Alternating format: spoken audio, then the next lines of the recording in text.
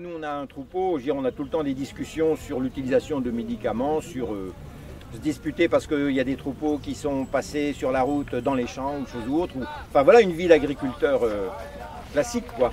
Parfois euh, des échanges de matériel aussi. pour nous ce qui est important par exemple c'est qu'on sait que si à la fois au niveau privé, mais au, au niveau agricole, si on a un souci, qu'on est vraiment débordé à un moment, on peut demander de l'aide et on sait qu'on en aura. Quoi. Tu vois, une fois, on avait fait un chantier euh, de, récolte de haies. Euh, ça nous avait assez perturbé sur le printemps. C'était beaucoup de boulot manuel. Et voilà, pendant 4-5 jours, il y a eu entre 5 et 10 personnes qui sont venues nous aider pour que le boulot se finisse à peu près à temps et qu'on ne soit pas dans les choux. Et c'est important dans l'organisation d'avoir des sécurités comme ça. Euh, voilà, nous on a le souci parce qu'on aime notre indépendance et on y tient, de ne pas être dépendant de la main-d'œuvre qu'il y a à côté, qui est sympa et qui peut nous aider. On, cherche à ce que ce soit équilibré d'une façon ou d'une autre. Mais savoir que s'il y a un moment où il y a vraiment un problème, euh, il y a une solution, c'est vraiment une sécurité importante. Quoi. Et c'est beaucoup plus qu'une sécurité institutionnelle. Quoi. Parce que là, on est parti en vacances la semaine dernière, c'est un zadiste qui fut autrefois dans une première vie éleveur de chèvres. C'est un zadiste qui est venu faire le boulot. Quoi. Et on sait qu'il a la compétence, on sait qu'il connaît la ferme. C'est infiniment plus sécurisé pour nous que si c'était quelqu'un du service euh, de remplacement. Euh, voilà.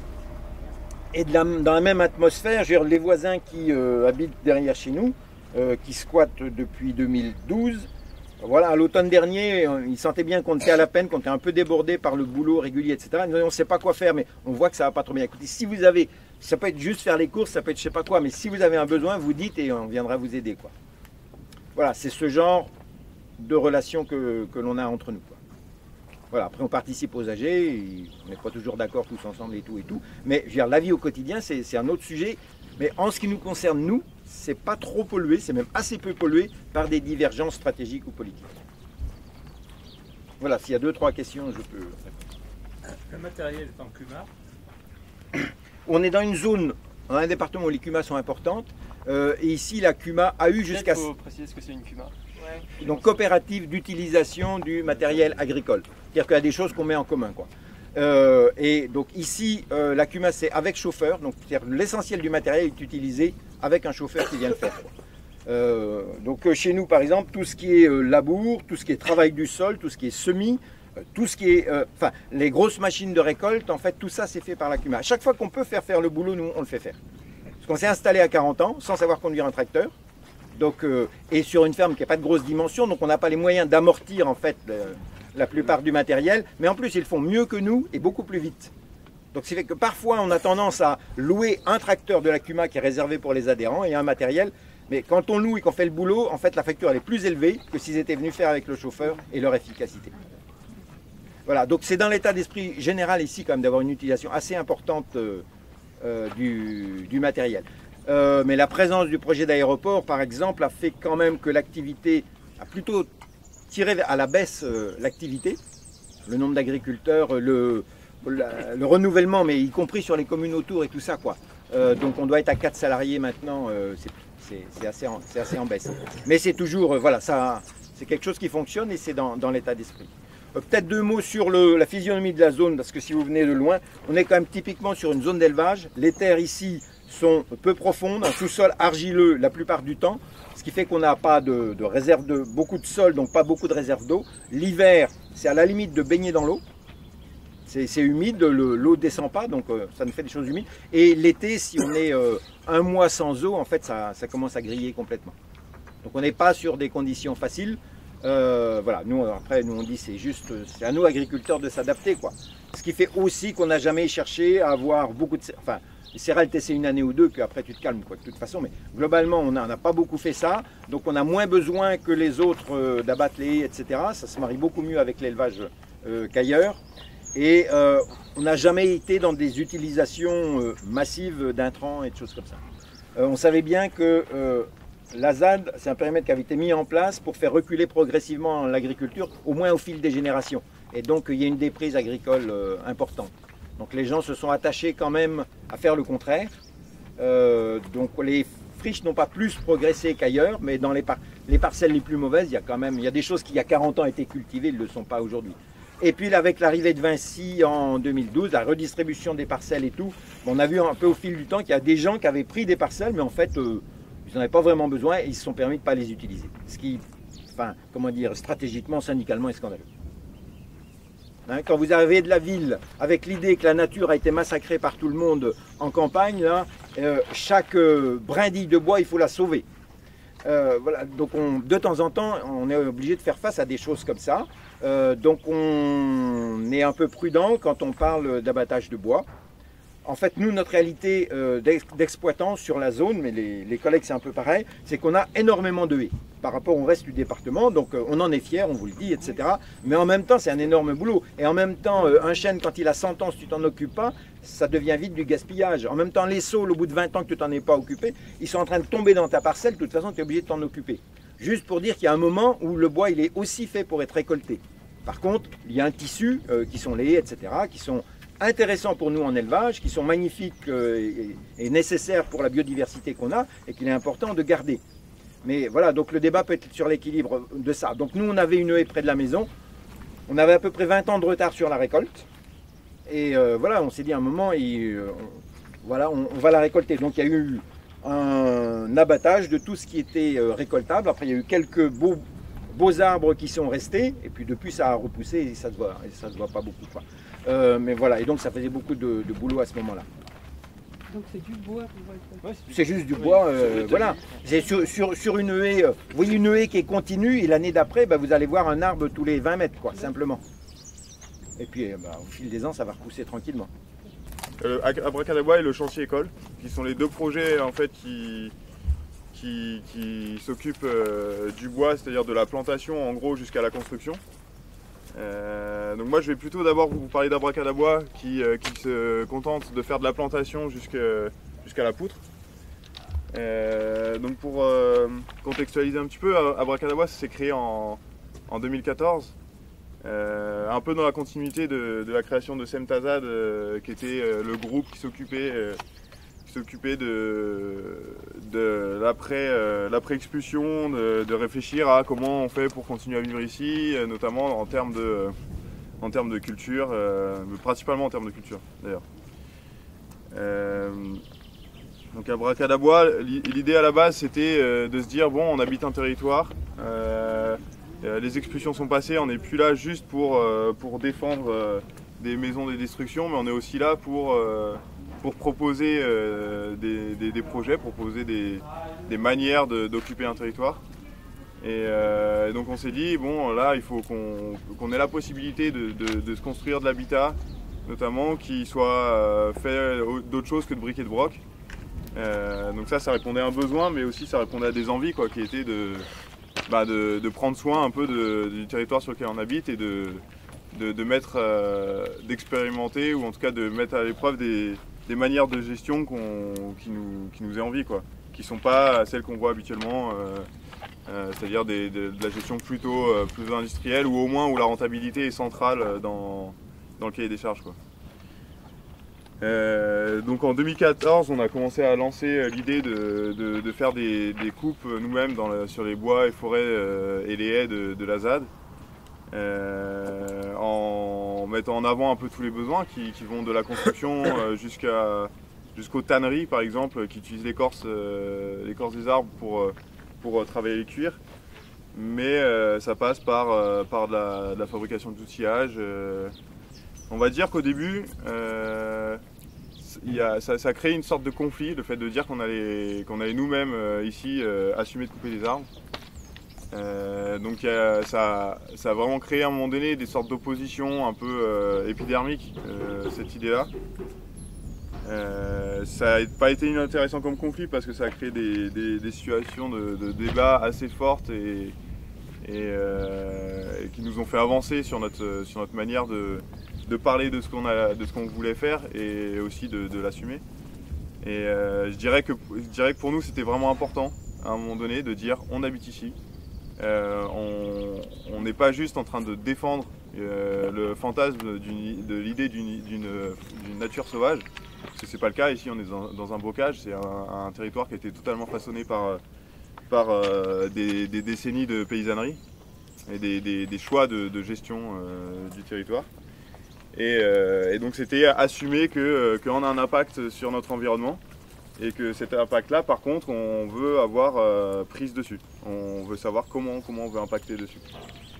Le groupe euh, Abracadabra, il est constitué de... Bon, c'est assez difficile de définir euh, combien de personnes il y a, mais on est en gros en, en permanent, euh, on va dire qu'il doit y avoir une dizaine de personnes, 10-15 personnes. C'est un... donc un groupe qui est constitué à la fois de, de- gens qui ont, déjà de l'expérience dans le bois d'une manière ou d'une autre, euh, que ce soit euh, euh, des gens qui ont fait des études d'in- de- d'ingénieurs forestiers, des gens qui sont élagueurs, des gens qui sont bûcherons, des gens qui sont auto-formés, des gens qui sont formés euh, euh, professionnellement et des gens et, donc et nous par euh, par extension on, fait aussi de la formation ici pour les gens que ça intéresse. Donc euh, au fil des années, donc là maintenant ça fait euh, ça fait 4 ans que, ça existe. Il y a des gens qui commencent à être assez bien formés euh, sur les à la fois sur les techniques d'abattage, euh, mais aussi sur euh, des, questions de reconnaissance, euh, un petit peu de biologie et d'une connaissance un peu globale, on va dire, de ce que c'est que des arbres, de la forêt, du bois et, et, l'exploitation. Donc ce groupe-là, en gros, il fait des, on fait des réunions. donc c'est plutôt saisonnier, on va dire. Ça, commence plutôt de l'automne jusqu'au début du printemps.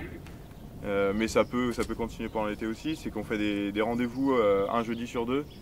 euh, où on parle euh, à la fois des enjeux de la bracadabois, de, de ce qu'on veut, de, l'exploitation elle-même, c'est-à-dire que, qu'est-ce que, euh, pour quel projet on va produire du bois, euh, euh, où on va le produire euh, et comment on va le faire, les choix un peu, euh, les choix de gestion en fonction de là où ça va être.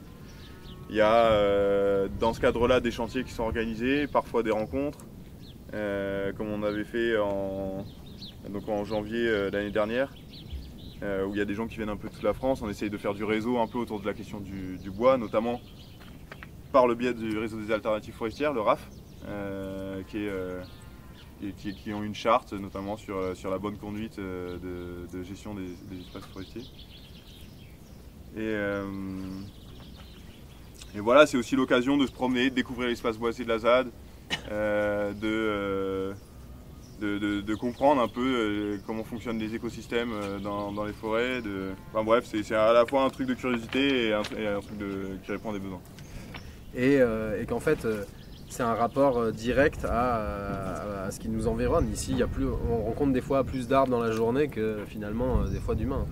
Et du coup, euh, il y, a un- truc comme ça. Il y a du bois ici, et euh, c'est avec quelle justesse on va avoir euh, une relation avec. Quoi. Et, euh, du coup, il y, a un petit truc euh, qui, moi, je voudrais rajouter sur euh, entre euh, par rapport à on dit des mots gestion, exploitation et tout ça, mais à chaque fois c'est défini parce que c'est des termes courants que les gens comprennent.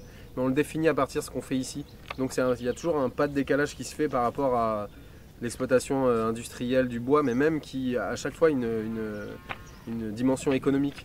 Nous on, sort de la dimension économique parce qu'on est dans la dimension de à quoi ça va nous servir dans l'habitation quoi, et dans, le fait de rester ici, durer ici et euh, dans l'interdépendance euh, des projets. Et pareil sur le- les, conflits qu'il y a eu au moment de couper du bois ici.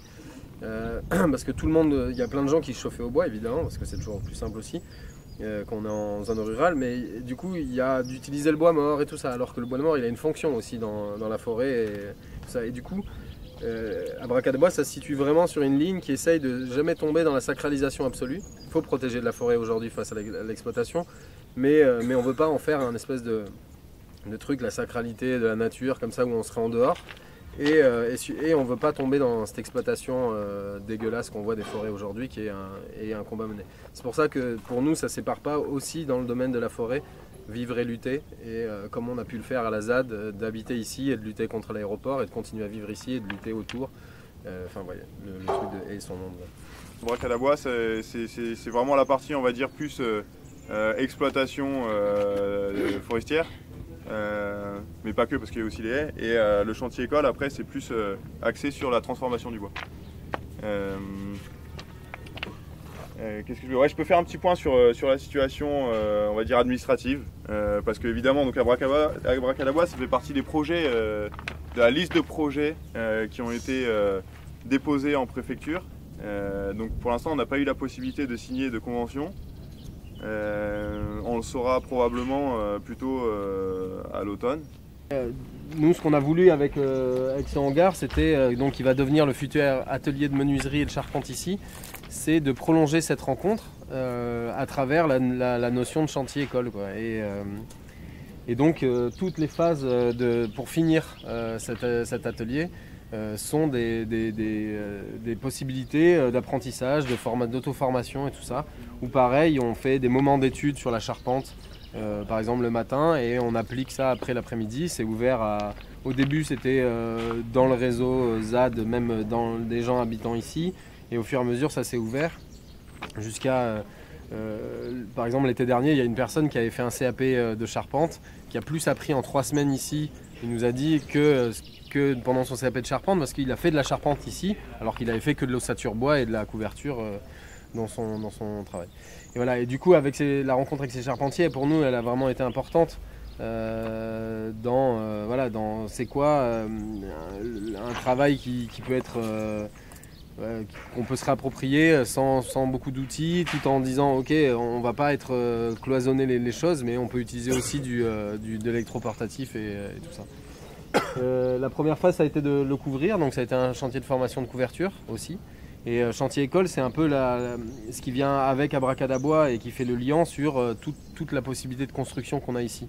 Avec euh, tous les, on a quasiment tous les matériaux. Parce que si on, on commence à penser que le châtaignier peut donner des, euh, bardeaux ou que, euh, euh, j'en sais rien, un jour on s'essaierait peut-être à la chaume avec, la paille de seigle.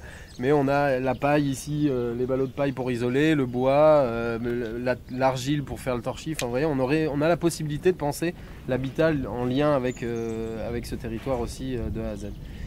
Et du coup, dans les, phases, on va installer une scie qui nous est donnée par la ferme de Trénas, qui a un longomaille en Ardèche, Euh, donc un scie fixe. Euh, en pour l'instant, on utilise beaucoup le, le euh, mobile qui vient du plateau de Millevache, euh, qui vient depuis 3 ans. Ouais, bon, peut-être. mais- Longomaille, c'est Ah, une communauté, peu importe. c'est une communauté. Quoi. Et, euh, et voilà, et du coup, euh, chantier école, ça a fait. euh, Enfin, et le sillage du bois, euh, il a permis de construire euh, l'ambasada. Euh, je ne sais pas si vous avez vu, euh, pas loin euh, de l'autre côté. Il y a quelques cabanes. Cette année, il y, a, bon, il y a eu, évidemment, avec les expulsions, il y a eu euh, plusieurs euh, rebondissements. Mais l'idée, c'est de refaire les charpentes de, baraques qui ont soit brûlé, soit qui soit essayer de restaurer euh, quelques granges qui, sont, qui commencent à être vieilles sur le territoire et pourquoi pas avancer sur, sur d'autres projets et notamment faire le bois pour finir le hangar Bellevue qui euh, pendant, tout le mois d'octobre prochain en, gros il va y avoir un, mois de chantier pour essayer de le finir complètement, que l'outil euh, devienne opérationnel. Euh, et, ce sera le, moment, des moments de formation, d'études aussi, et il y aura des moments pour réfléchir à la question de, justement d'auto-formation, une formation hors cadre, de comment on peut se former en habitant un territoire et, dans les liens que ça crée avec plein d'autres plein d'autres lieux qui pensent les questions aussi euh, de la forêt jusqu'à la construction qui ne soient pas euh, de manière euh, conventionnelle mais qui, qui forcément ne, enfin, qui, qui peuvent avoir aussi un pied dans certaines écoles forestières ou d'autres choses comme ça. Et du coup, dans cette parcelle-là, aujourd'hui, il y a des haricots qui sont en train d'être en, train d'être bidés. Il y a un, champ de tournesol qui est fait pour produire de l'huile. Et au bout, euh, on verra quand on passera après à côté, euh, il y a du lin. Cette année, il y a une dizaine d'hectares de, sarrasin. Là, c'est qu'une toute petite parcelle. Ce sarrasin, on le cultive, on le sèche parce que c'est une graine qu'il faut sécher quand on la récolte parce qu'on la récolte en automne. Euh, et après, on va la transformer sur place à Saint-Jean-du-Terre où il y a le stockage et un moulin pour faire la farine. Et c'est de la farine qui servira euh, pour les boulangeries ici, pour les gens qui font des galettes. Et aussi, euh, c'est une production qu'on va aussi vendre au comité de soutien, enfin à des gens, à, des soutiens et aussi à des gens euh, qui font des galettes, des boulangeries éventuellement, vu qu'on a, va avoir des grosses quantités, pour permettre aussi de financer euh, d'autres projets qui seront moins rentables. Quoi. Quand on parle des équilibres économiques, et ben, c'est aussi ça, c'est des fois il y a quelque chose qui va bien marcher, qui va être plus facile à vendre, ben, ça va permettre de pouvoir financer d'autres trucs qui sont, qui sont moins, qui n'ont pas vocation à, être rentables. Et du coup, ces productions elles vont aussi servir à ravitailler euh, des cantines de lutte, des squats de migrants, euh, à, voilà, aller euh, amener des grosses quantités de différentes choses, enfin des plus ou moins grosses quantités de différentes choses. Votre production est bio? Oui, oui, bah c'est, on n'est absolument pas certifié. Peut-être que euh, sur certains, en- enfin, il y, a- des gens qui ont des projets comme à Saint-Jean-du-Terre, Willem qui fait du lait, qui lui est certifié en bio. Après là, on n'est pas dans les réseaux commerciaux et tout, du coup, il n'y a pas spécialement l'envie, ni la volonté, ni l'utilité de toute façon d'être certifié. Et du coup, on peut aussi penser à des systèmes euh, de, certification où, euh, comme peut le faire Nature et Progrès, où c'est des consommateurs qui vont certifier, qui vont suivre le cahier des charges et de pas forcément le penser que par rapport à, au système de certification bio euh, comme il est aujourd'hui. Ce qui nous importe, c'est d'avoir du lien avec les, gens qui vont travailler ces produits, qui vont en faire quelque chose. Et c'est plutôt la notion éthique que la notion de vouloir forcément avoir, vouloir faire une boucle absolue et parfaite. Et euh, il n'y a pas la volonté d'être autarcique et de faire les choses que entre nous et pour nous. Bah, ici, c'est la Hulate. euh, Le projet, euh, bah, le grand projet qu'on a ici, c'est un espèce de projet euh, maraîcher. On prévoit d'avoir des chevaux de trait euh, cet hiver et de se former euh, à l'attraction animale euh, éventuellement. Voilà, enfin, en gros, la cabane, ça a été construit avec le collectif de Rouen il y a deux ans. Bah, voilà, c'est construit avec le collectif qui est à Rouen. On s'organise un peu avec les gens là-bas. Et pour le jardin, bah, on s'organise avec euh, bah, les gens de Saint-Nom, entre autres, euh, les gens de Saint-Jean. Et c'est un truc euh, assez collectif. Et on participe aussi au réseau de ravitaillement qui euh, alimente euh, les grévistes en fait. euh, avec, on travaille un peu avec les syndicats. Et on fait des banquets pendant les manifs, on leur envoie des cagettes de légumes quand ils, font, quand ils sont en grève depuis longtemps et tout ça. Et bah, avec les légumes qu'on a ici, euh, des terres. Pas de l'État. Quand même. Pas Il y, a, encore. il y a un site où on peut adhérer. Et oui, voilà, il y a un super site. Ah non, il y a Et un on site peut on adhérer. peut adhérer. hein. Et euh, voilà, je sais pas de. Peut-être la création du lieu, de dire, mais tu l'as évoqué vite fait. Ouais, vite fait. Mais peut-être ça vaut le coup de insister là-dessus. Que après l'opération César, il y a plein de gens qui ont voulu se, euh, continuer à avoir un lien avec la ZAD. Et comme euh, dans la multiplicité des comités de soutien qui se sont créés, il y en a quelques-uns qui ont se sont dit Ah, mais peut-être on pourrait construire une cabane sur la ZAD pour que ça nous fasse un pied à terre.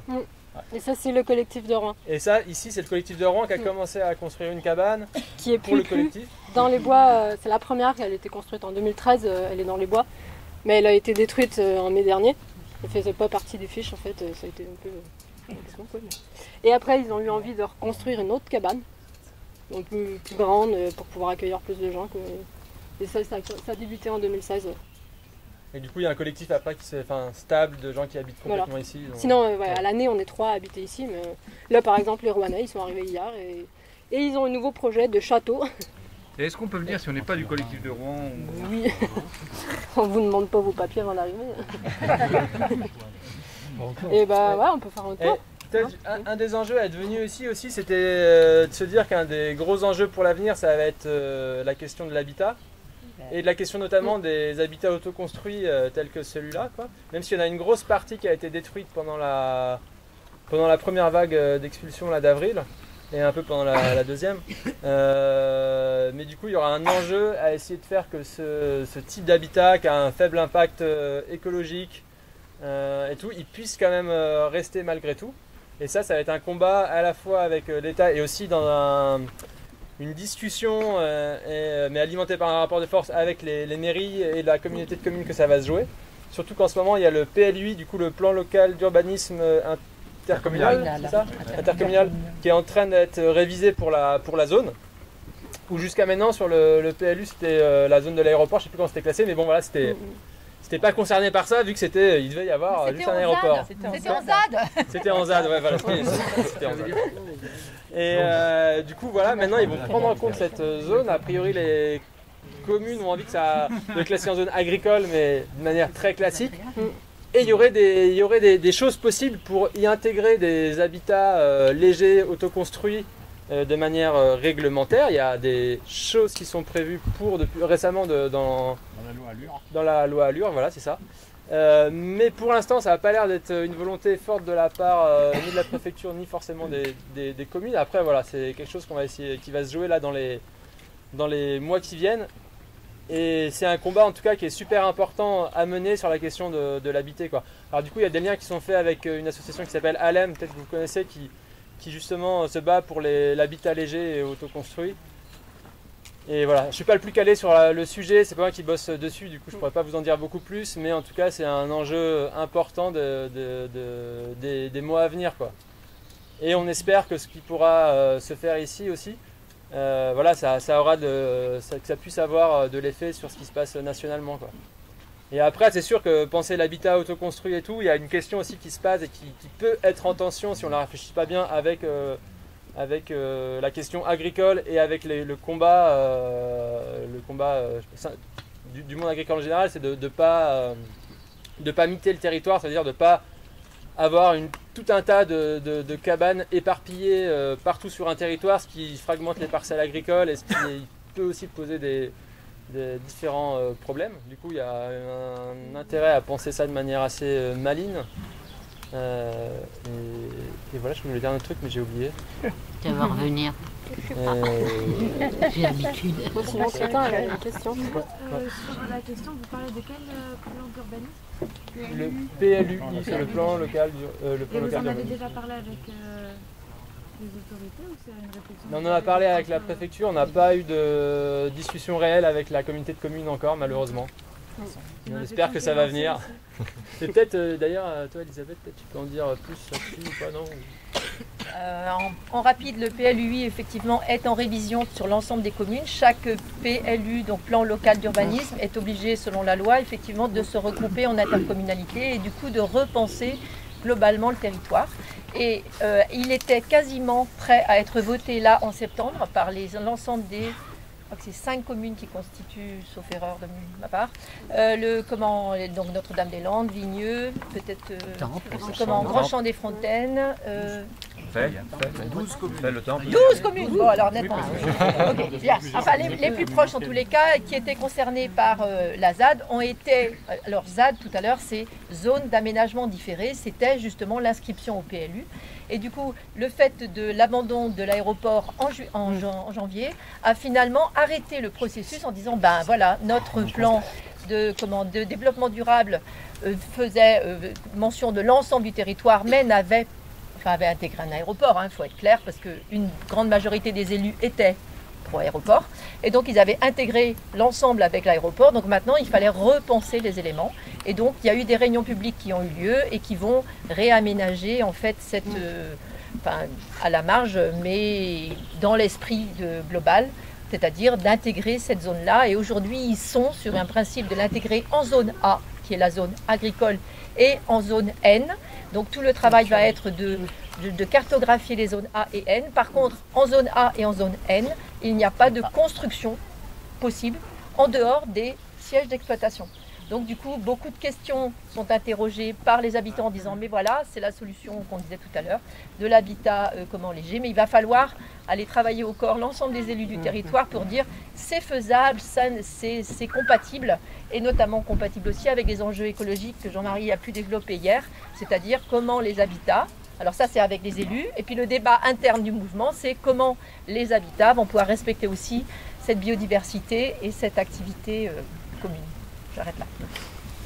Oui, maintenant, on admet euh, des pastilles vertes, ce qu'ils appellent dans la loi Allure. Oui, mais C'est pour l'implantation d'habitat. bien sûr. Moi, Mais il faut, mais- mais faut qu'il y ait l'accord des pouvoirs publics quand même. Oui, oui, oui. Oui, puis il semblerait, j'ai pas tous les éléments qui sont en train de discuter une loi Elan et que la loi Elan, elle a l'air de faire un peu d'ombre à la loi Allure.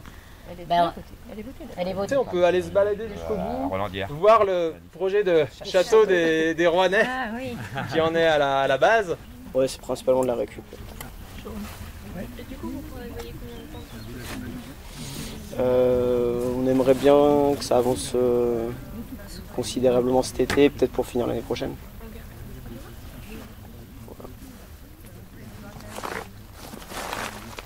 Les pierres, vous les retaillez quand vous avez besoin ou laissez comme ça et vous maçonnez Non, on les met comme ça. Parce qu'en fait, Non, mais euh, j'ai j'ai fait donc c'est pour en fait, que- comme c'est déjà des pierres de construction, la plupart ont déjà des faces.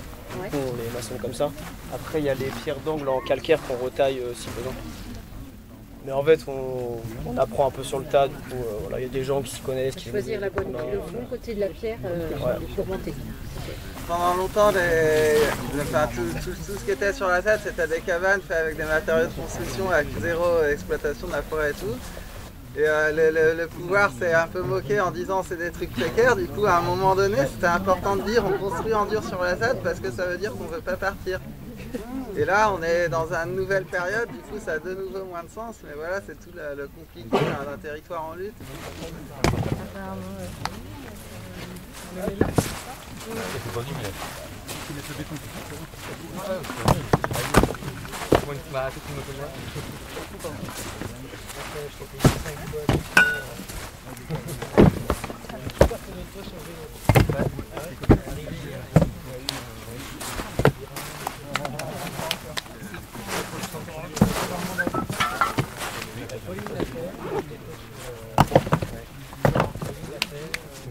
Comme. euh, Enfin, les habitats sont pas pris en compte. quoi. Après, il y a différents enjeux. Euh, Toutes les espèces même euh, ordinaires elles sont en densité extraordinaire. Donc les passereaux, les grenouilles, euh, les tritons, tout ça, c'est ce qui frappe euh, dans la ZAD, c'est la, la densité de population. Tout ça dans un espace agricole où les gens vivent. Donc euh, vraiment euh, un fonctionnement entre la nature et l'agriculture euh, comme c'était euh, un peu dans le temps quoi. Et euh, là où on fait le lien avec l'habitat, c'est que euh, les gens pouvaient s'occuper euh, sans, sans être vraiment dans l'industrie, ils pouvaient s'occuper des champs aussi parce qu'ils habitaient partout. Donc euh, d'une certaine façon, il y a la crainte du mitage et d'une autre façon, les gens sont, les gens sont trop détachés de la nature parce que les, les maisons sont trop regroupées et que les, les gamins ils ne jouent plus dans les bois. voilà. Ils sont dans la- devant leur PlayStation et ils s'en foutent de la nature. Et euh, donc on est en train de chercher un équilibre et cette ZAD-là, ça doit être un lieu d'expérimentation euh, de, de, de l'habiter et du vivre. Donc il y a, le produire, mais euh, en essayant de se détacher de, la production commerciale et des normes de rentabilité et tout ça. Et, euh, et euh, mécaniser, mais euh, à, échelle humaine et tout ça. Quoi. Donc il y a tout un bouillonnement d'inventions qu'on peut faire ici.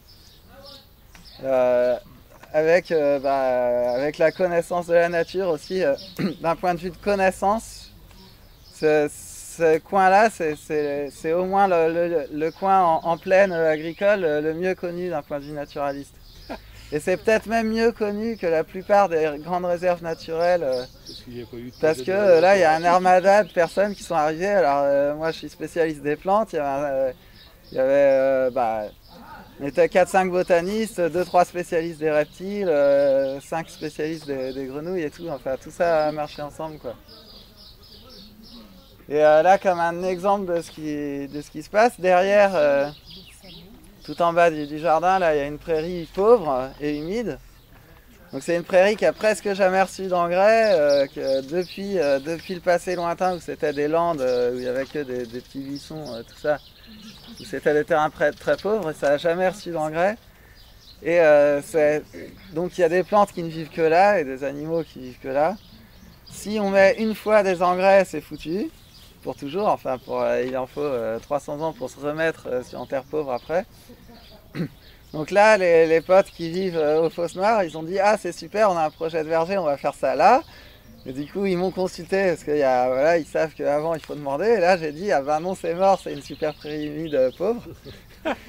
Et donc, le verger, il se trouve euh, 15 mètres plus loin parce que aussi les parcelles sont petites et donc il y a tout. euh, il y a tout le panel de tous les types de champs euh, pour que tout le monde y trouve sa place, euh, l'élevage, le maraîchage, euh, le sarrasin et, euh, et euh, les espèces sauvages. Quoi. Donc là, c'est vraiment un lieu euh, qu'on a toujours défendu comme le lieu de l'agriculture du futur, euh, non pas contre la nature, mais euh, en lien avec la nature, voire grâce à la nature. Et donc on espère continuer longtemps cette expérimentation-là. Évidemment, c'est très menacé par les, gros syndicats agricoles qui tiennent la Chambre d'agriculture et qui ont plutôt peur qu'on voit une alternative vivante et, attrayante. Donc ils vont, dans leur idéal, ils vont reprendre plein de terres, euh, arracher les haies et tout ça et faire de l'agriculture normale euh, qui avance et machin, voilà. Et euh, s'ils n'y arrivent pas, ils vont essayer quand même de nous pourrir la vie d'une façon ou d'une autre, histoire qu'on n'ait pas un sourire jusqu'aux oreilles avec notre agriculture écologique. Voilà, donc ça, ça fait partie des, des combats qui sont encore en, en cours ici. euh, sont amenés. Quoi.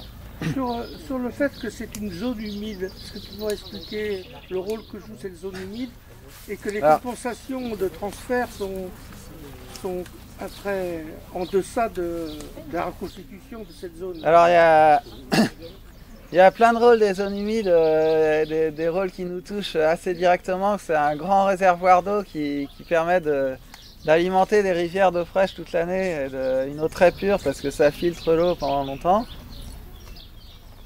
Euh, voilà, ça, bah, ça, ça fait qu'il y a moins de pics de crue euh, pendant, pendant qu'il pleut et, a- et que l'eau repart après. Mais il y a aussi les fonctions naturelles, que les zones humides sont plutôt rares et que du coup il y a des espèces qui vivent que là. Donc détruire et compenser, c'est euh, détruire quelque chose de complexe qu'on ne connaît pas totalement et remplacer par quelque chose de simple qu'on sait faire mais qui en fait... euh, voilà. Donc c'est...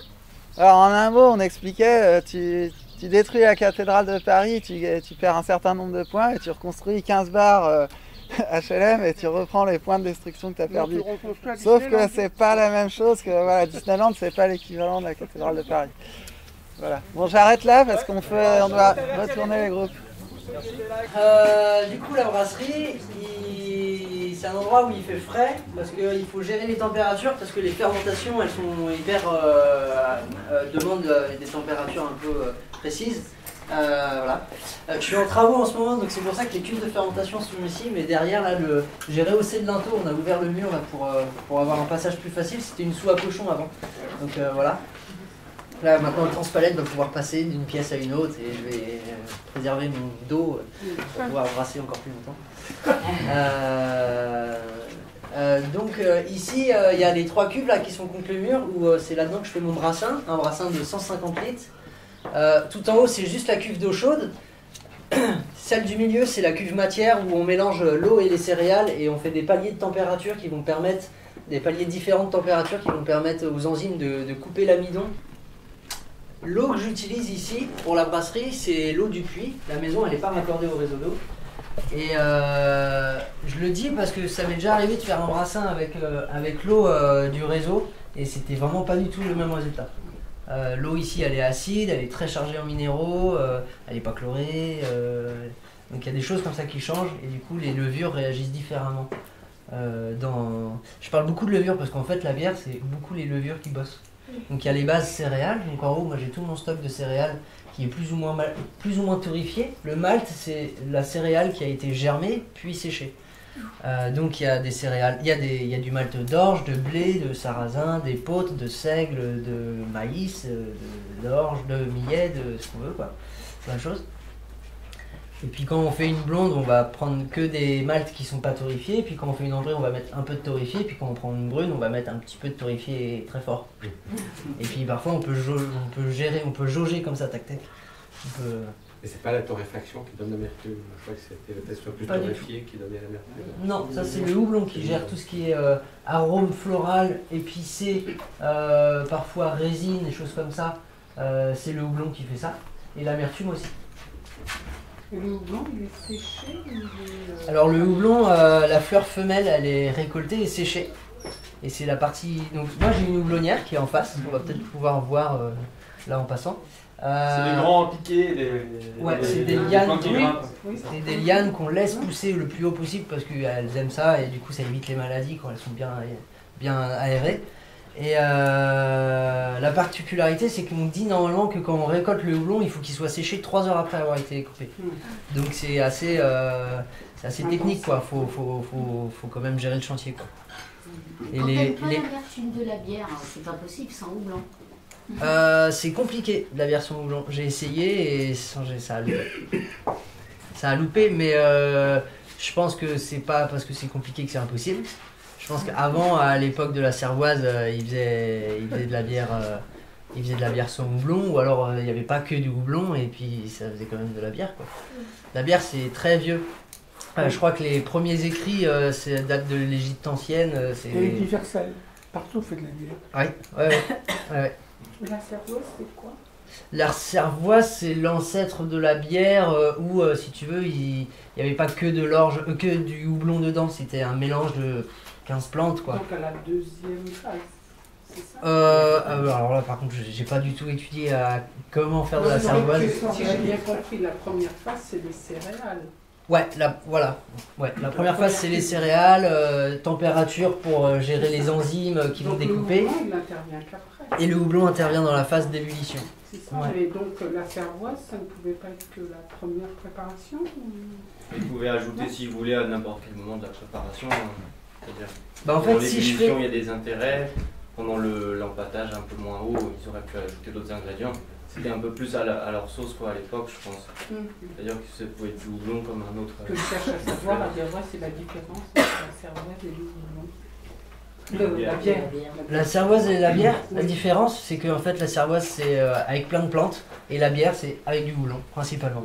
L'appellation bière, c'est les moines qui ont, fait, euh, qui ont fait pression pour dire, en fait, si tu fais de la bière sur houblon, tu peux pas l'appeler bière. T'as pas le droit. Ouais. Ouais, Peut-être tout cas, évoquer euh, je sais pas, les cultures d'orge que tu, euh, enfin, que tu fais. euh. Ouais. Alors du coup, oui, moi, mon statut, il est, je suis paysan céréalier qui transforme son, sa céréale en bière. Euh, ça, c'est dans les statuts. Euh, dans la réalité, je suis paysan céréalier et brasseur amateur. Euh, le problème, c'est qu'ici, on a des terres qui sont très dures pour les céréales. Elles, elles, elles, elles- elles- emmagasinent trop la flotte, elles, elles ressuient pas assez. Et du coup, l'orge, qui est vraiment très sensible à, à l'eau, euh, là, ma culture d'orge de cet hiver, euh, elle a crevé. Et vu que les flics étaient là, machin bidule, j'ai pas pu m'en occuper. Donc euh, là, je suis lundi après-midi, on va faire une récolte manuelle. on va récolter à la main des épis pour au moins récupérer 200 kilos de, de semences pour pouvoir repartir l'année prochaine. Mais euh, ma culture de cette année, elle est, elle est, elle est morte parce que, parce que j'ai choisi un terrain, parce qu'on m'a filé, enfin bon, bref, parce qu'on a eu un terrain qui n'était pas propice à cette euh, culture-là. Tu dois Donc, voilà.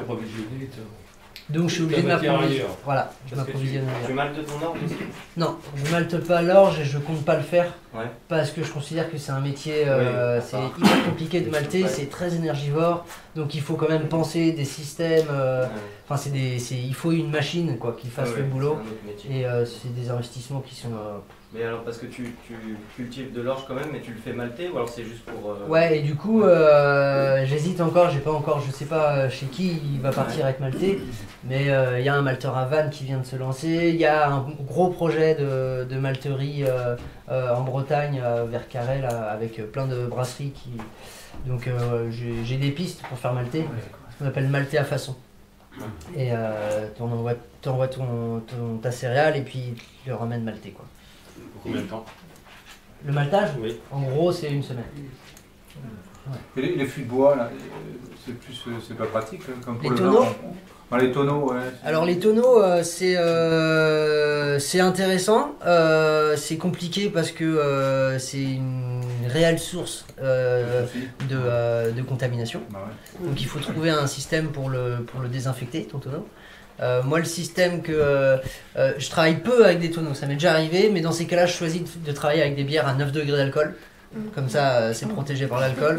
Et, et après, c'est désinfection vapeur pendant une demi-heure. C'est pour ça que le vin, ils peuvent, parce que ça monte en... Parce que le vin, ils sont à 12 degrés, quoi. Ouais. Et puis, il faut pas oublier qu'ils souffrent les barriques. Ils Ils souffrent les barriques. Ah ouais. Et moi, c'est quelque chose que je veux pas faire. Mais il y a des gens qui travaillent en vin nature qui, qui ont des barriques et qui souffrent pas. Et ils y arrivent. Ouais, il mais- faut avoir de l'hygiène, c'est juste ça. Ouais, ouais, avec des levures indigènes, euh, ils rajoutent pas de levure, ceux qui travaillent en vin nature. Et le bois rapportera un, un plus en goût, peut-être aussi Le bois va rapporter des tanins, des complexités, des. C'est plus intéressant, Ouais, mais c'est quand même compliqué, quoi. Ouais. Mais sur une bière à 4 degrés, c'est impensable de la Voilà. faire vieillir en tonneau. Juste pour euh, revenir sur euh, la- Peut-être juste on essaie de prendre peut-être une question, puis après on va aller euh, au rouge et noir à côté pour. euh, ah, sauf si t'avais d'autres trucs à dire. Non, non.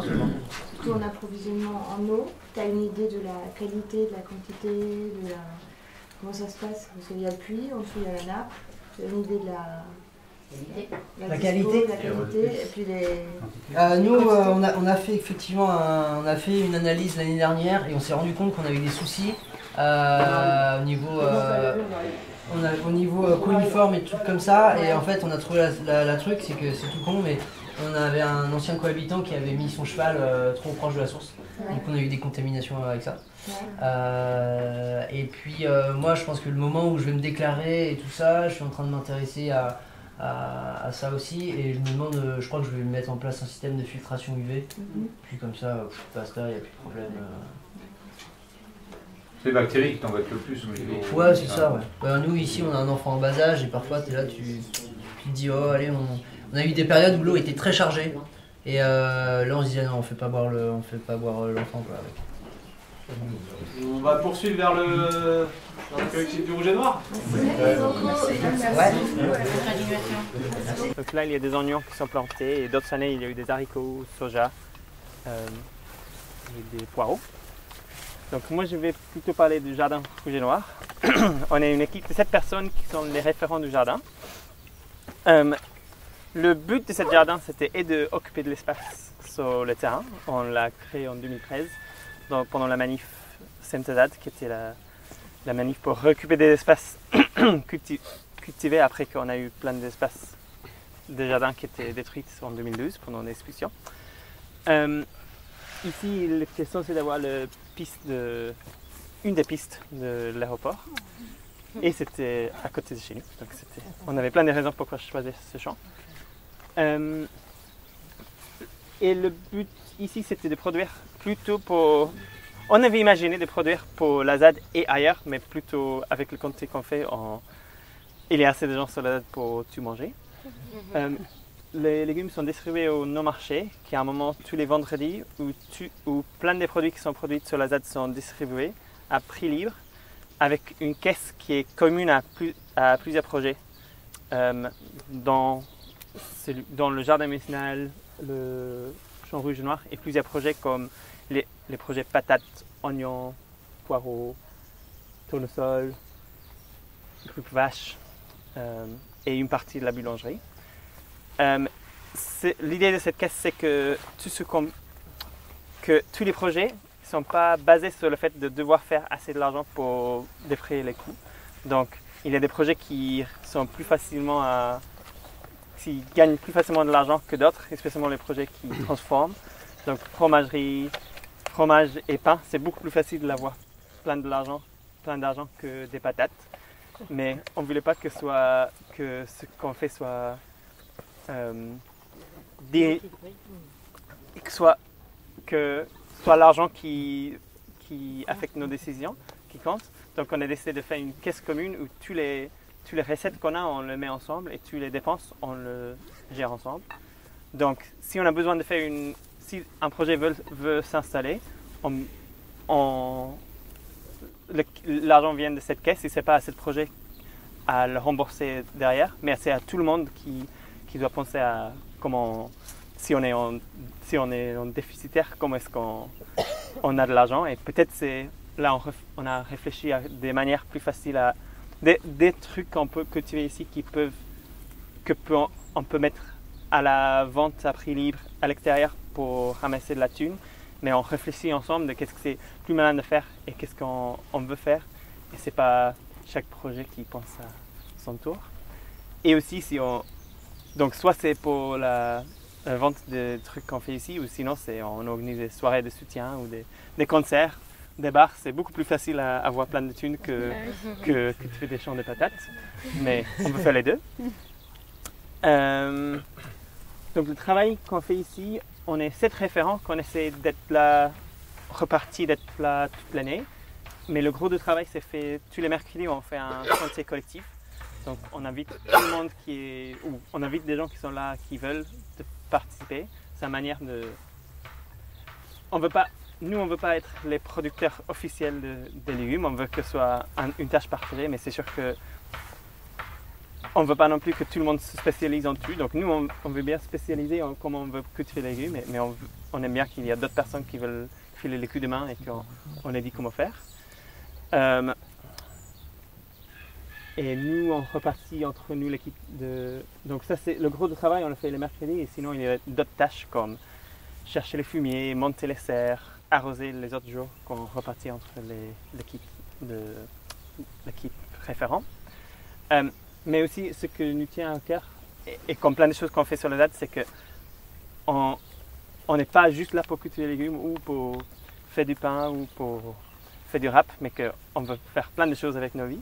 Donc, nous, la manière qu'on on, on choisit une taille de jardin qui fait que nous, on travaille, le kit des référents, on travaille peut-être deux jours par, deux jours, voire trois, peut-être l'été par semaine ou deux et demi, mais le reste de l'année, c'est plutôt 15 jours qui nous permet d'avoir beaucoup de temps d'autres pour faire d'autres choses.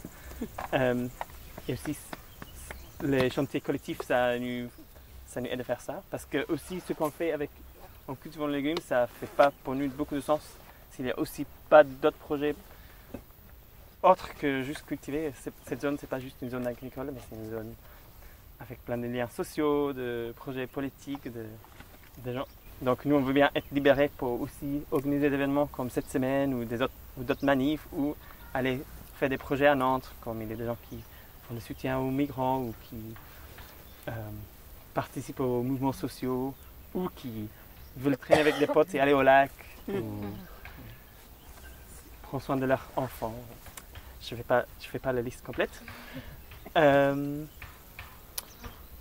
voilà, je ne sais pas quoi d'autre dire sur... Euh, pendant les expulsions au printemps, euh, ouais. ça a été très très très exposé ici et les, ca les cabanes, on a pensé plusieurs fois qu'elles allaient être démolies et finalement c'est finalement vous habitez toujours dans le coin? Ouais, notre cabane est un peu le, le dernier cabane qui n'était pas, Oui. qui était pas expulsé. Parce que ça a failli être démoli euh, de. Mais on, pense, on avait l'impression que la, bon, la préfète a dit très clairement qu'elle faisait un jeu de essayer de diviser les ZAD en- entre les méchants et les bons. Et nous, on était choisis pour mettre les exemples des bons. Euh, aussi, c'était un peu un truc simple, je crois aussi. Ils ont choisi des zones complètes à expulser, mais en les nommant, là, ça c'est les méchants qui coopèrent pas. Et aussi, c'est pour eux, c'était important d'avoir des exemples des bons qui sauvent pour, que ça marche, ce jeu. Mais nous, on, ne veut pas être complicite dans ce jeu, on ne pense pas que nous on a plus de mérite de rester que d'autres. Et là on essaie de voir comment est-ce qu'on peut faire pour des gens qui ont été expulsés. On a des gens qui ont été expulsés qui sont hébergés chez nous et d'autres qui sont un peu repartis, mais aussi il y a plein qui. C'est pas toujours facile, il y a plein qui ne se trouvent pas. Il y a pas plein qui veulent pas habiter avec nous, mais qui veulent habiter avec le collectif dans lequel ils étaient avant. Et que Oui. pour l'instant les réoccupations ne sont pas trop possibles. On réfléchit comment on peut faire pour la suite. Et oui, notre cabane, nos cabanes, ils sont encore euh, là. Et oui, cette chambre était un peu arrosée par lacrymogène. Oui. Mais on a décidé qu'on n'allait pas non plus perdre une saison de légumes pour lacrymogène. On a imaginé que ça soit beaucoup lessivé par la pluie. Et on dit que de toute façon, les légumes ne vont pas être plus, plus chimiques que ceux qu'on achète au supermarché. Ils ne se piquent pas quand on les, les mange. Contrairement à la première semaine, donc ça va. Juste pour dire que ce que tu dis euh, le mercredi, qu'il y a des chantiers ici, je suppose que ça peut être intéressant pour les gens qui sont extérieurs à la ZAD, qui veulent avoir un premier contact. Euh, il, y a, il a ce chantier-là, il y en a d'autres d'ailleurs, je ne les connais pas tous. Mais euh, quand on ne connaît pas la ZAD et qu'on est un peu a envie de voir un peu ce qui se passe, je pense que ça peut être une bonne idée de venir euh, se mettre dans des chantiers comme ça. Mais euh, justement, on a aucune, enfin, moi, j'ai aucune idée parce que c'est une organisation qui est super structurée, visiblement. Donc, combien, combien, combien de personnes ça représente euh, tout ça? Tout ça, c'est jardin Tous ou les gens qui. Non tous les gens de la ZAD Oui, c'est-à-dire ce collectif-là en lien avec les autres collectifs, enfin tous les gens qui sont là et qui euh, ont une activité euh, sur, euh, sur la ZAD.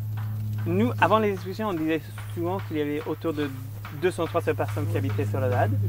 Là, je crois que c'est.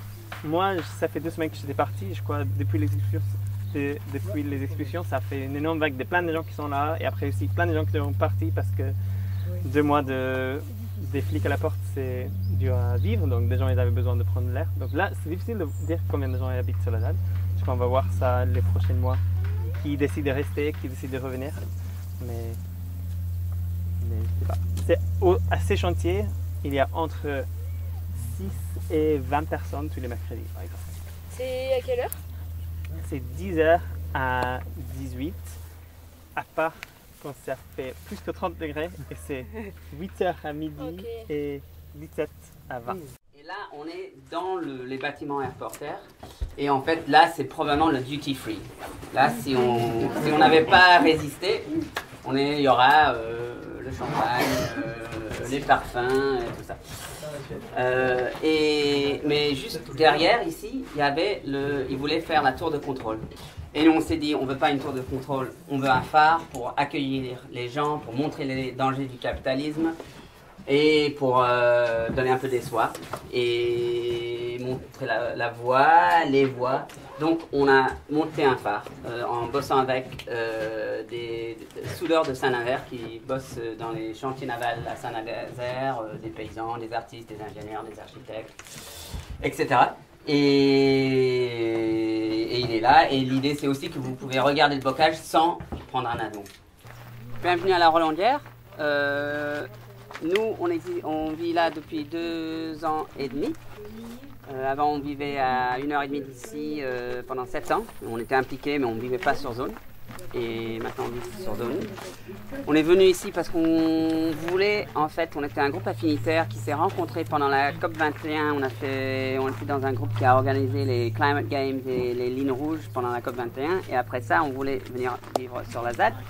Et donc, euh, on voulait faire un lieu d'accueil. Pour nous, l'accueil, c'est un truc assez important dans des, des zones comme ça, parce que souvent, le gouvernement fait tout ce qu'il peut pour créer un ghetto, pour euh, mettre des murs, euh, des murs invisibles, des murs de communication et de discours autour de zones comme ça, pour montrer, dire qu'on est euh, dangereux. Il y avait même Retailleau qui a dit que c'était une zone plus dangereuse que Mossoul en Irak. Et donc pour nous, c'était hyper important d'avoir un lieu convivial, chaleureux, où les gens pourraient venir s'ils connaissaient personne, s'ils n'avaient pas les codes, etc.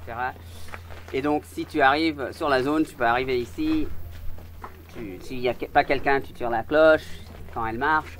Euh, et puis quelqu'un vient, te donne des cartes, explique où tu peux dormir, etc. Comme un peu d'historique, euh, etc. Donc, quand on était venu ici, c'était euh, c'était pas une ferme depuis 25 ans, mais là c'était encore euh, l'endroit pour les vaches. Alors c'était tout du ciment euh, partout sur les murs, euh, par terre, etc. Et la première chose qu'on a fait, c'était de retaper ça, ouvrir là-bas, mettre du, la terre paille sur les murs. Alors la terre est venue de, de là, et la paille d'un champ collectif à 5, un, un kilomètre. Quoi. Euh, et puis on a euh, fait la bibliothèque et puis le phare.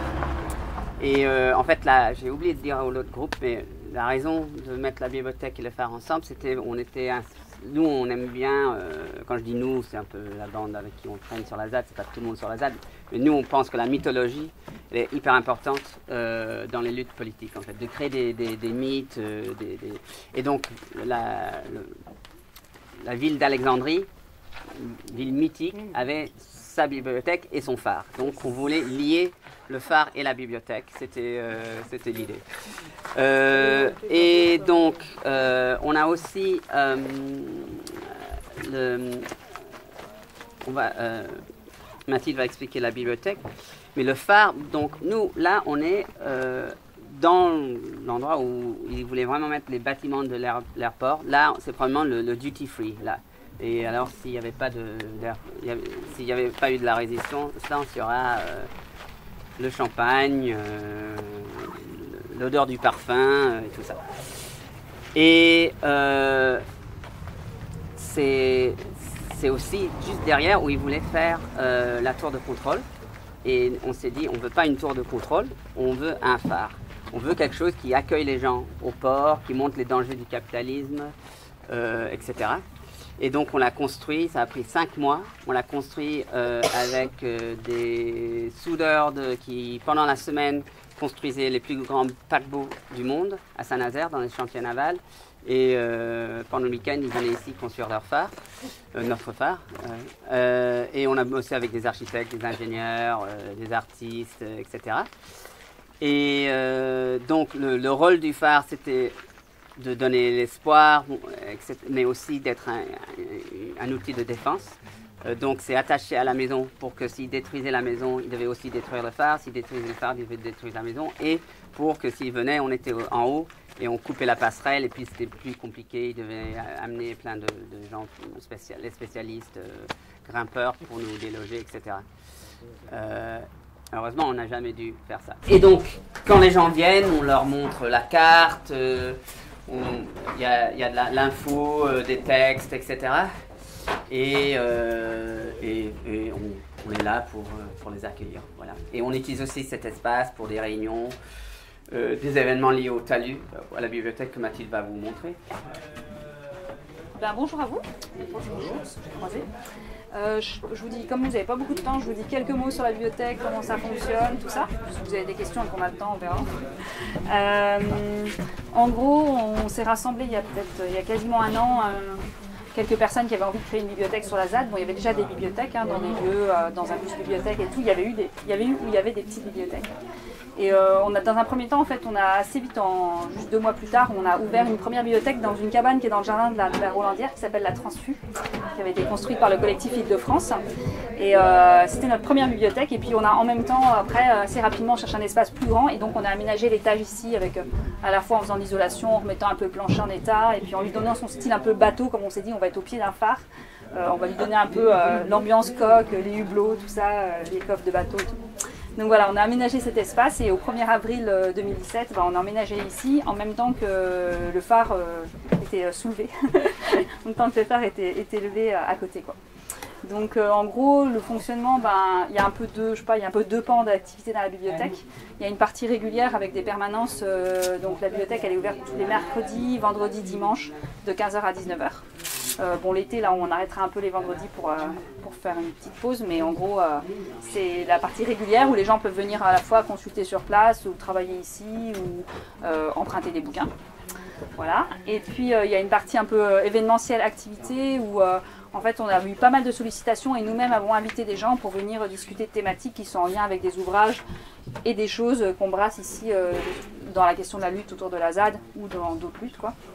Donc euh, on, a, voilà, on a eu quand même un rythme assez soutenu d'événements euh, depuis l'ouverture avec, euh, je sais pas, peut-être toutes les deux ou trois semaines en moyenne quasiment une intervention. voilà, hier c'était Isabelle Strenger et, et un juriste belge qui s'appelle Serge, je ne sais plus, et une autre personne qui avait travaillé sur les communs qui sont venus discuter avec nous des communs et de la question du rapport droit et commun. Euh, par rapport à toutes les problématiques qu'on peut se poser ici pour la suite et l'avenir de la ZAD. Et on a eu aussi bien dans les dernières semaines des Japonais qui sont venus présenter un, fi- un, film, un livre qui s'appelle Fukushima et ses invisibles, mais aussi un, autre groupe qui est venu avant présenter un film sur Kanagasaki. Euh, une anthropologue qui a beaucoup travaillé sur les aborigènes australiens qui est venue euh, nous parler de son dernier film qu'elle allait projeter et nous parler de son dernier film, etc. Donc en fait, il y a, vraiment un rythme assez régulier de rencontres et d'événements euh, qui ont aussi pour objectif en fait de faire euh, se rencontrer des personnes ici parce que ça permet de croiser des gens qui habitent sur la ZAD et des gens qui habitent euh, aux alentours ou d'un peu plus loin et qui viennent parce qu'il y a une thématique qui les intéresse. Quoi. Et ben, ce que je disais au premier groupe aussi, je pense que c'est une des choses qui nous tient à cœur ici, mais comme à sur plein d'activités sur la ZAD, de pas se- s'imaginer ou se percevoir comme étant enfermé dans un lieu clos euh, autour des frontières de la ZAD, mais de voilà la bibliothèque elle est aussi bien pour les gens qui habitent là que pour ceux qui habitent euh, aux alentours, en Loire-Atlantique ou dans le coin en gros, euh, et qui veulent emprunter des ouvrages ou venir assister à des discussions, euh, et que c'est ces croisements-là aussi qui nous intéressent. Voilà, et bah, le fond, en fait, il a, il a un côté un peu classique avec des parties, euh, pas mal de romans, euh, beaucoup de poésie, euh, voilà, un peu des ouvrages de savoir-faire, BD et tout, donc on retrouve un peu dans une bibliothèque municipale, on va dire. Et puis toute une partie beaucoup plus spécifique là-bas, avec un grand pan sur l'histoire des luttes qu'on a classé chronologiquement et qui permettent d'aborder à la fois par chronologie et par thématique ou par lieu géographique en fait des luttes à travers le temps. Et puis euh, des aspects euh, lutte plus thématiques qu'on a classés en mode euh, bah, le travail, voyez, l'énergie, les questions de genre, etc.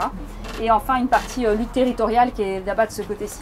Et où il y a bon, des ouvrages sur ici, mais aussi sur plein d'autres luttes, notamment celles avec lesquelles on est en lien. Par exemple, il y a pas mal d'ouvrages sur le Pays Basque parce qu'il y a beaucoup de contacts avec le Pays Basque. Il y a beaucoup de choses sur l'Amérique latine et notamment sur le Mexique. Euh, donc voilà, il y a beaucoup de choses aussi sur les problématiques des lieux d'enfermement, y compris euh, hôpital psychiatrique, etc.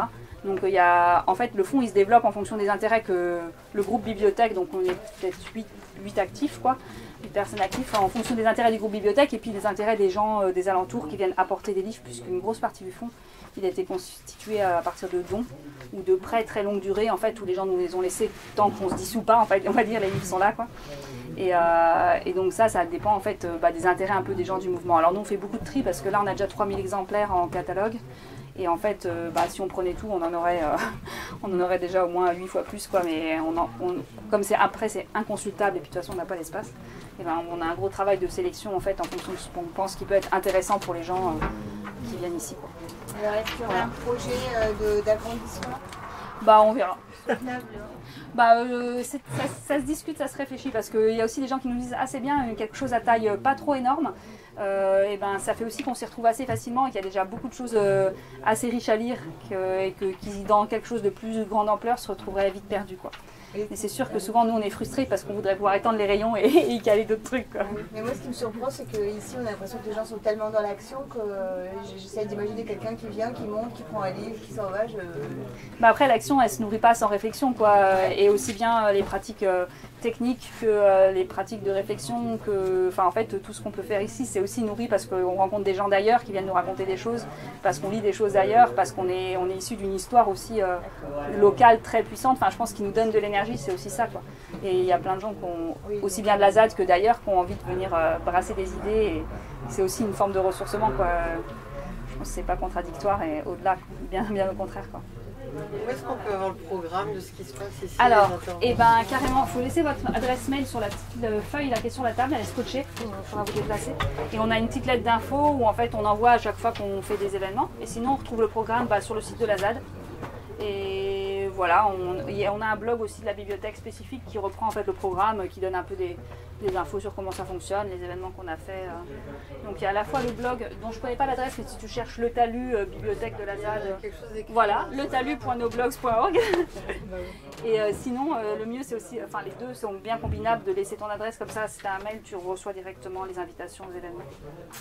Voilà. Et là, on est un peu en pause estivale. Notre événement d'hier, c'était un peu euh, une fin de saison, mais on reprendra, j'imagine, à l'automne si tout se passe bien. Voilà. Ouais, J'ai une, petite- j'ai une question, mais je ne sais pas si ça, si ça a un lien direct euh, pour le talus. Euh, tout ce qui est imprimé, là, les brochures et tout ça, ça se fait où, comment, par qui Alors c'est pas spécifique. En dessous, par exemple, à- au rez-de-chaussée, c'est pas spécifique- spécifiquement lié à la bibliothèque en effet, mais bah, il y a des gens qui prennent le temps de faire des impressions pour alimenter les infokiosques, que ce Ouais. soit là celui qui est à l'accueil, il y en a un au Fosse Noire, Ouais. il y en a sur- surtout sur les événements, il y en a beaucoup qui Ouais, sont faits aussi. Donc euh, généralement c'est dans des, dans des reprises de reprographie quoi. Il y a un moment on a- il y avait de quoi imprimer aussi ici. Bon ça c'est du matériel qui très, très vite tombe en panne donc généralement il faut renouveler. Voilà. Bah, autre question, on avait des, des livres à donner, mais enfin, euh, vous êtes saturé Euh, bah, tout dépend ce que c'est. Si c'est des trucs hyper intéressants et précieux, on est super content. Si c'est la dernière Pléiade ou, euh, ou un truc très classique qu'on a déjà dix fois, bon bah vaut mieux les donner à quelqu'un d'autre Voilà. que ça serve ailleurs. On a un peu une- un fond de réserve encore dans la petite, euh, dans la là, dans la cabane, dans le jardin, où on a notamment les doubles et qui peuvent servir quand il y a des bibliothèques qui se constituent, qui nous demandent si on peut leur passer des ouvrages. On garde ce qui est intéressant pour qu'ils puissent y avoir accès. Voilà. Voilà, tout à fait. D'envoyer envoyer une liste ou venir en parler ici, ou venir avec une partie des ouvrages, euh, mais Oui. savoir que nous, voilà, on ne prend pas forcément tout. euh, mais on dit pas non non plus parce qu'il y a des tas de choses géniales qui nous sont comme ça tombées, euh, tombées dans les bras, donc c'est super. Et en plus, le geste est vraiment fantastique pour nous que les gens alimentent cette bibliothèque avec euh, ce qu'ils aimeraient et ce qu'ils pensent qui est intéressant d'y voir. quoi. D'accord. Et ce qui n'est pas utilisé, c'est recyclé ça Ouais, nous, ce qu'on, bah, ou bien ça va dans les doubles, euh, genre pour, qui peuvent servir, ou dans la partie un peu réserve, on se dit bon, peut-être, peut-être pas, on met de côté pour l'instant. Et sinon, le reste, bon, c'est vraiment recyclé, quoi. On l'envoie à l'école de Notre-Dame où ils font des paquets et après ils l'envoient, je sais pas quel truc de recyclage, et ils payent euh, les activités scolaires des enfants, enfin les activités non scolaires des enfants avec ça. De toute façon. Voilà, c'est recyclé voilà. de toute façon. Ouais. bon.